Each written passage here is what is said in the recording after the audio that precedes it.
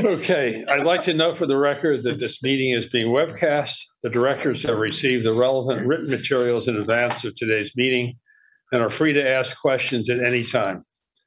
We welcome public comment on today's agenda items.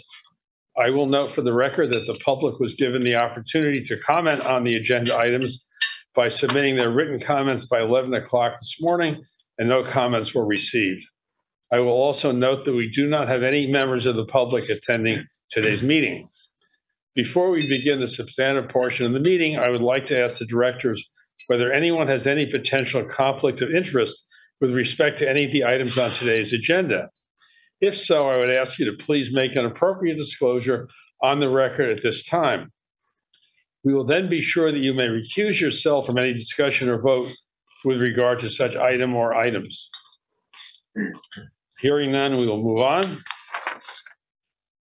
I will now ask Robin Stout, President of the corporation, to start things off with the President's report. I will note for the record that this item is being presented for your information only, and no vote will be required. Robin? Thank you, Henry. The first thing I'd like to say is uh, thank you to all the directors for getting together in person. Uh, it's certainly wonderful to see everybody uh, alive and healthy uh, and uh, in person, uh, and uh, delighted that you could make it. Um, let me say that uh, you probably recognize Deb back, and uh, it's Courtney, right? Courtney from uh, ESC. And then uh, you will recognize Albert Wahid, excuse me, Wahid Albert, sorry, excuse me, Wahid, Wahid Albert, I'm sure you're used to that. And Doug Blaze from our project management team, who I think uh, the directors have seen before. Mr. Steele, you probably recognize, and uh, and uh, Ray Orlando is the new uh, CFO uh, from ESD, also sitting in with us today. So welcome uh, to to Ray. Um, so we last met in March of this year. Um, at that time, uh, what I said to you was that we were uh, finishing what I call the construction phase of the project. Um, you, the directors will recall that we actually uh, achieved our occupancy permits uh, more than a year ago in July of 21. Um, Alan and the operating corporation have been using the um, the, the new facility since basically September or the fall of 21. And, and uh, there was a, we just, Alan just concluded an OC um, director meeting indicated, uh, indicating that the expansion is in, being used at a terrific pace. Um, and, and all that is, uh, has been good. Um, so what we at the Development Corporation have been doing over the last year is moving from what, what we call um, substantial completion under the contract, which allowed us to operate to quote unquote final completion. A large part of that was doing the punch list items. Uh, there was a, uh, when, when we formally concluded the punch list uh, over a year ago, there were some 9,000 items on it, most of them relatively small. Uh, I'm happy to report that those 9,000 items have been taken care of over the course of the past year. Uh, there were also some separate final completion items. A- after we put together the punch list, uh, the- particularly the PM team was very instrumental in identifying some other things that DC, uh, CCDC believed that Lendlease Turner owed us uh, under the contract in terms of final completion for the um, uh, for the expansion. Uh, so we also have been tracking those items. Uh, there were a small handful of items which had been completed, but but we uh, with the again with the project management team deemed them to be defective in some way. Uh, not not usually not substantive things, things which would uh, not prohibit the operation of the of the new expansion, but which needed to be corrected um, in terms of uh, how the uh, of, of how we we CCDC owner believe uh, that the facility should work. And needless to say, that sort of dovetailed into a warranty uh, issue uh, because as the uh, as the center became up and running, so some of the warranties started to kick in. So Doug Blaze was particularly uh, on top of a running list of final completion items and warranty items, along with Ken Sanchez from the operating corporation, uh, to try to uh, to juggle those and get them all all those, all those done. Um, uh, the other thing that uh, has been going on is that we've been assisting the operating corporation in an upgrade of the fire alarm system in the existing facility. Uh, remember that uh, although all of us, including myself, really think of, of the project as the expansion itself, the brand new shiny eight-story uh, building that we put together. Remember, of course, that the expand, that, that the project that we've all been following for, for years uh, started with a transformer building, uh, which finished some time ago. Uh, The expansion is the second part of that. Uh, The upgrade of the existing fire alarm is the third part of that. And then the fourth part of that is actually a combination of all those three into a final merged campus. So at the moment, we have uh, what are called uh, TAOs uh, from DASNY, basically akin to a temporary certificate of occupancy. So we have four of them, transformer, expansion, uh, uh, existing facility upgrade, and the merge campus. And that has allowed uh, us, and particularly the operating corporation, to use the facility as they have been for most of the past year. Um, But we are in the process of finalizing and working with OC to finalize the upgrade of the existing fire alarm system, which is really the last piece of what we need in order to turn those temporary certificates of occupancy into a permanent certificate of occupancy, and particularly a permanent certificate of occupancy for the merged campus as a whole. Um, And uh, Alan's team, along with, uh, with my project management team, we've been working very closely with FDNY, Fire Department of New York, uh, in order to accomplish that.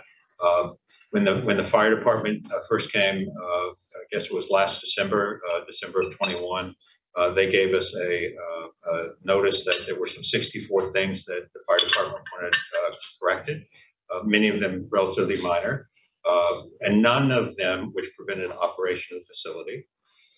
The, the fire department returned just last month, I think we're still in September, right? So last month was August. Um, The fire department returned in August and uh, uh, came away with only 17 remaining items. So we, we, uh, we took care of more than two, more than two thirds, almost three quarters of what needed to be done on the initial list. Um, And so obviously we are now at work uh, in conjunction with the operating corporation in terms of satisfying those final 19 things, excuse me, 17 things. Uh, We expect the fire department to come back in December of this year, 22, during the dark, dark period for Javits, which is why they were here in December of 21. Um, And at that point, keep your fingers crossed.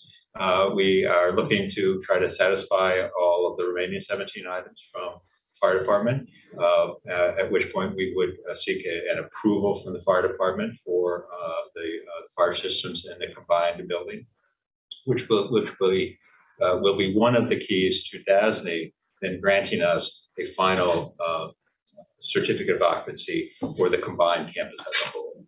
Uh, So as I say, we have all of our permits to operate in the meantime, uh, but we are working to finalize uh, those permits. Um, The last thing I would say is that in addition to all of that, uh, we have had, uh, as you will hear in the last item of the, for- of my, uh, of the, of the agenda today, we've been working very hard with uh, Lendlease Turner to discuss settlement of claims. Um, And there were two sets of claims. There have been scope claims and there have been delay claims. Um, The scope claims have to deal with um, things that owner believes may have been within the four corners of the contract, uh, but uh, Lendlease Turner believes may have been beyond the four corners of the contract. So there was some dispute back and forth about that, and so there were some claims on the table in connection with scope. Uh, And then you, the directors will recall that uh, there was a two-month delay for the pandemic. The, the government actually shut down the project for two months. Um, And so as a result of that, when we amended the, the, uh, the contract for a second time about a year and a half ago, uh, we granted an extra two months for Lendlease Turner to finish the project. Uh, It was originally scheduled to be finished in March of 21, and we allowed them uh, to finish in May of 21. Well, they didn't quite make that deadline, uh, but there was a dispute back and forth about why and who was at fault. Uh, So uh, between this- those scope items and the delay items, uh, there were some uh, claim issues uh, back and forth between the owner and Lendlease Turner, uh, none of which stopped the rest of the work that we were doing in terms of bringing the expansion to its, its final form, but all of which resulted in the, um, in the last item that I'm about to bring to you today. Um, So that's my president's report, Henry. I'm happy to take any questions. I don't think anyone has any questions, so we'll move on to the agenda. Robin, you will now request authorization for the corporation to amend its fiscal year 22, 23 capital budget, please. Robin?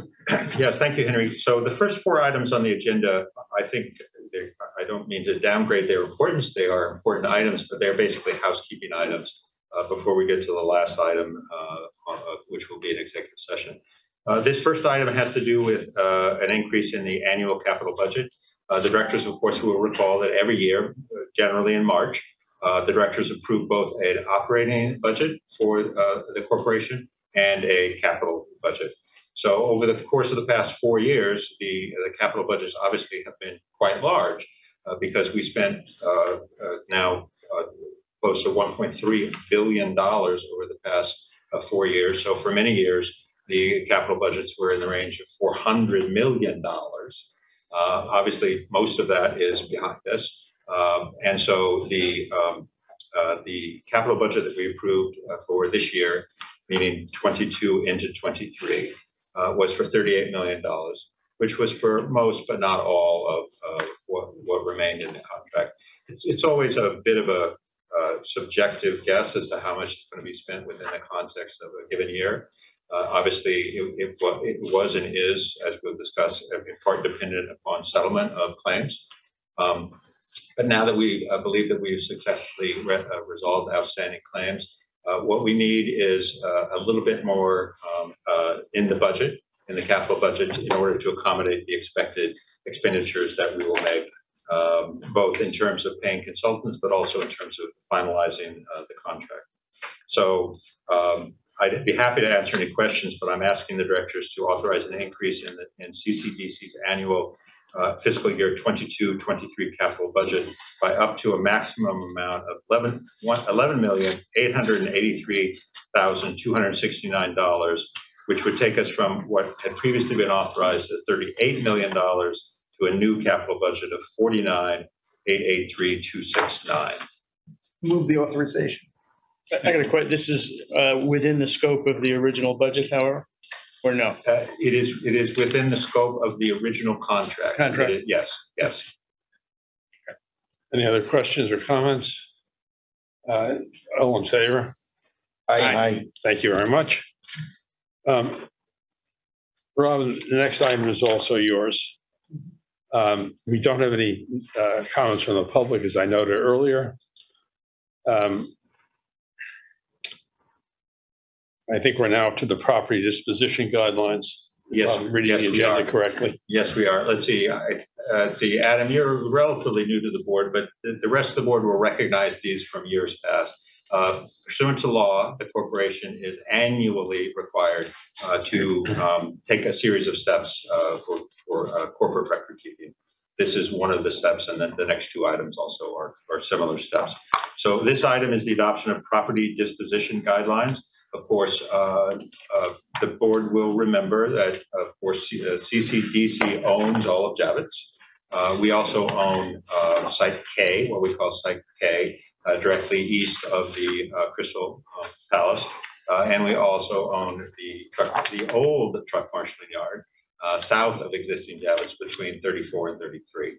Uh, So uh, there may be property uh, dispositions that uh, we need to make uh, occasionally. Uh, Those, those excess properties at some point will become development properties.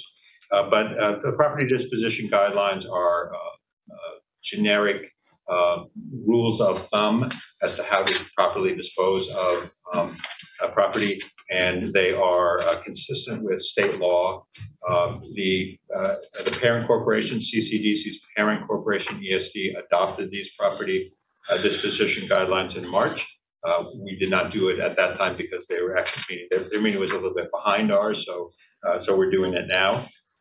Um, Again, I'd be happy to take any questions, but uh, the directors are being uh, requested to opt- to adopt the attached uh, 2022 disposition guidelines to appoint the ESD uh, Vice President for Contracts Administration or any successor Vice President as the contracting officer for purposes of the guideline. Um, And let me know if you have questions. Michael? Yeah, um, it's, it's fine with me. I'm happy to move it. I just have a technical question.